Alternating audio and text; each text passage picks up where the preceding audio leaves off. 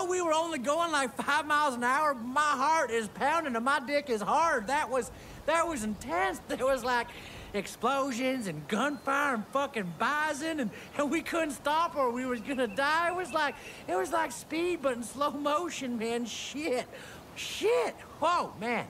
And you know, I, I was gonna give you the car as a reward, but but don't worry, I can make you another one, and I promise, I promise it'll go faster, okay?